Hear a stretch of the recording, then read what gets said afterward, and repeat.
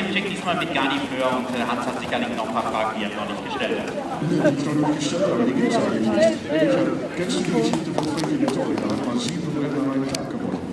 Es sowas bei dir auch? Ohne? Konnte ich ja gleich rein. Gratuliere. Das, sah aber auch leicht aus, äh, Garnifeur. Wir hatten äh, vorab, ja, erstmal gratulieren, äh, wir hatten vorab aber darüber geredet, äh, die stärker von der Spitze. Ist es dann leichter? Letzte Mal kam es raus. Äh, ich habe gesagt, das ist ziemlich klar, wir sind auf den ersten 1000 Meter keine Ahnung und äh, ja, haben wir dann gut gemacht, kamen die weil immer noch reden von die vierte wir schon Auge.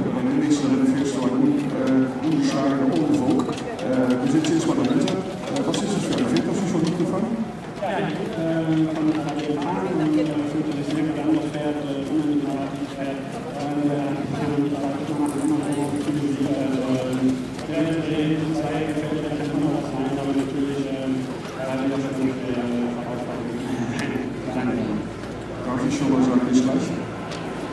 Also ich hätte nichts dagegen,